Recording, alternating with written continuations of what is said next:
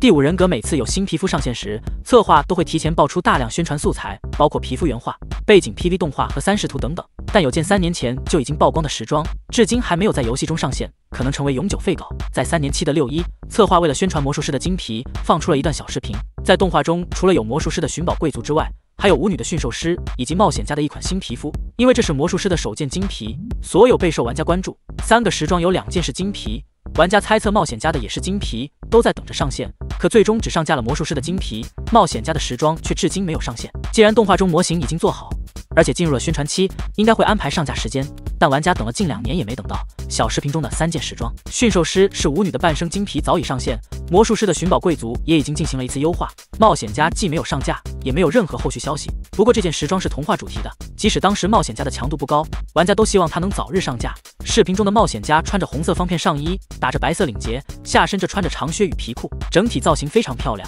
另外，在他身上还有很多齿轮的元素，后面背着一个时钟，是童话主题时装，应该就是红桃侍卫。其实这件时装可能已经成为了废稿，不可能再在游戏中上线了。细心的玩家发现，冒险家的爱丽丝与红桃侍卫模型相似，后面都背着一个时钟，所以红桃侍卫优化成为爱丽丝，最终在精华宝箱中上线。爱丽丝也是童话主题的，不过与红桃造型相差甚远。爱丽丝使用了蓝色造型，上身有很多蓬松蕾丝元素，多了不少女时装的设计元素，下身则是一条直筒修身裤，没有太多的设计。另外一点就是手中拿的书本变成了蛋糕，使得爱丽丝更加甜蜜。那么问题来了，红桃侍卫和爱丽丝，大家更喜欢哪一个呢？